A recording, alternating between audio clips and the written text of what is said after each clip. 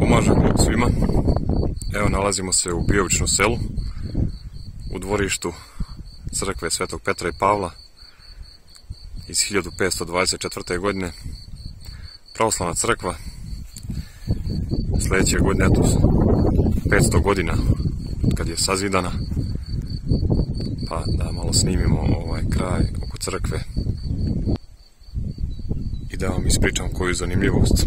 Šta me dovelo vamo. Želje mi je bilo dugo da dođem, pogotovo ono prije kad sam čitao Petru Jagodiću, narodu poznatom kao Kuriđa, pravoslavnom svešteniku koji je rođen u Bilišanima 1666. godine, a ovdje je bio sveštenik, baš u ovoj crkvi.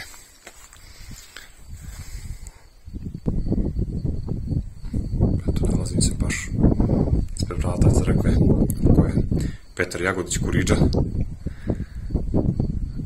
državnu službu početkom 1700. narod se pobunio protiv sakupljača poreza iz Mletačke republike i na čelu te bune je upravo bio Petar Jagodić Kuriđa.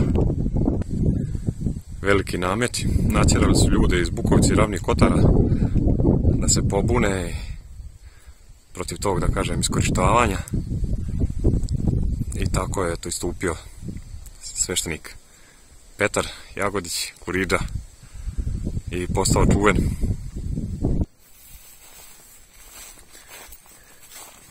Nažalost, zbog svega toga on je završio u tamnici, u teškoj tamnici u Veneciji gdje je proveo 40 godina teške robije gdje nije vidio svoju čerku sve ni, do smrti jer kad je pušten nakon 40 godina nije, nije mu dozvoljeno se vrati u svoje selo već je preminuo u Zadru.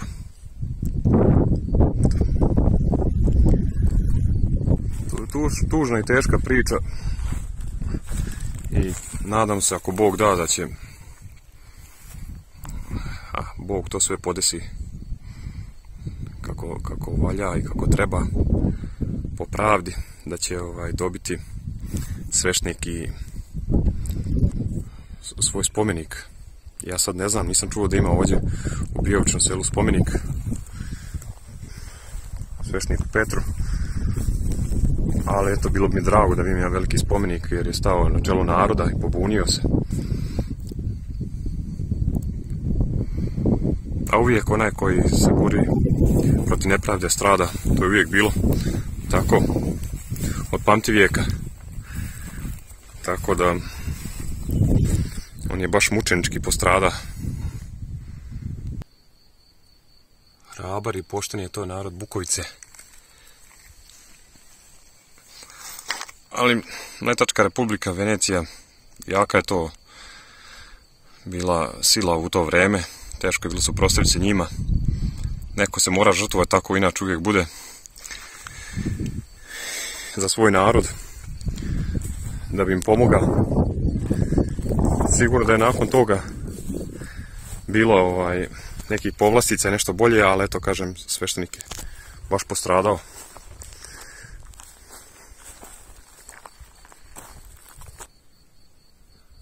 Danas njegovi potomci sigurno sa ponosom ističu od, od koga potiču kuriđe od čuvenog sveštenika iz Bukovice. Krševite Bukovice.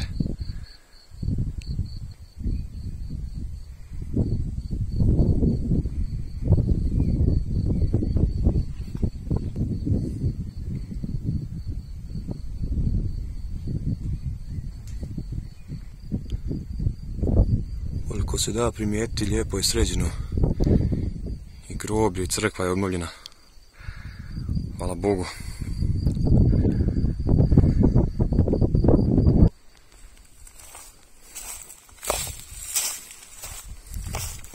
stara kamena crkvena kuća.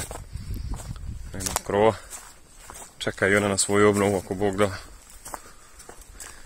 A doći i to vreme uskoro.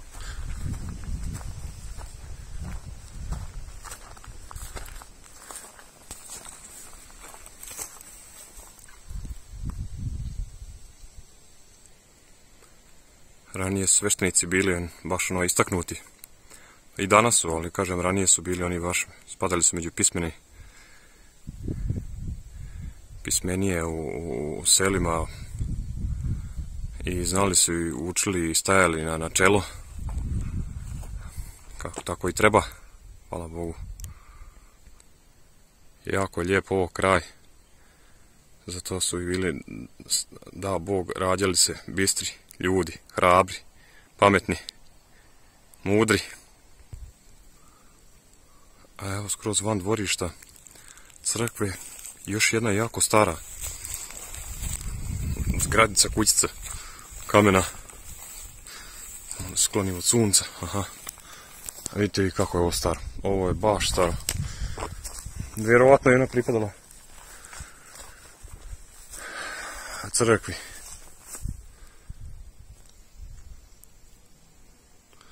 dosta i, i očuvano hvala Bogu što postoji ja ne znam tačno, mještani znaju sve do detalja. Nismo nikog sad ni sreli, pa da bi pitali.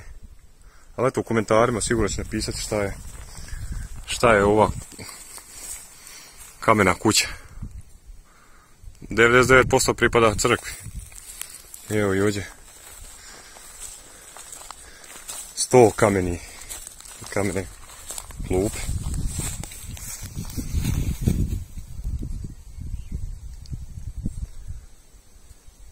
Preljepo stvarno.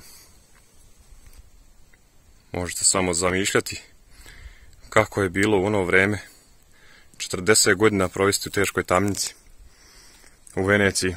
Sam gledao neke slike na internet, sam tražio kako su izgledali ta tamnice, to je bilo, to je samo Bog mogao čovjek pomoći da preživi to. Eto, kažem, i on je tačno služio, nije pušten ni uopšte dana ranije, nego služio cijelu kaznu 40 godina i tek onda pušten i to nije mu dozvoljeno u njegovo. Nije mu dozvoljeno u njegovo selo. Ni u Bilišane, ni u Bijovično selo nego u Zadar gdje je umro. Mislim da nije ni vidio već da je bio i slijep. Tako da baš tužna priča ali onako da kažem herojska. Okrenuo sam se na ovu stranu čisto vam pokažem na kojoj se udaljenosti nalazim. Ono je tamo što vidite u daljini bijelo, plavo, visoko je vodotvoranj u Kistanjama, eto na toj udaljenosti. Znači nalazim se na visini između Biovična sela i Moderna sela. I sad je vreme polako nazad da idem. Eto, hvala Bogu, ispunila mi se želja da dođem ispred crkve Svetog Petra i Pavla iz 1524. godine pripada Biovično selo, a kažem i okolna sela su, to je bilo za sve njih velika priča o velikom čovjeku. Ja kažem, znam samo za Petra Jagodića Kuriđu da ima u crkvi u Kninu, da mislim da je jedna ploča urađena, da je svešnik Vojo Bilbija uradio. Nisam siguran, to nisam vidio. A, nisam vidio uživo, ali sam vidio na slici. Evo ovim kadrom završavam današnji video. Srećna slava svima koji sutra slave Đurđedan. Pozdrav veliki od nas iz Bijovična sela. Idemo dalje, pa ko Bog da, da snimimo još nešto da stignemo u ostatku dana. Živi bili, pa se vidimo. Pozdrav!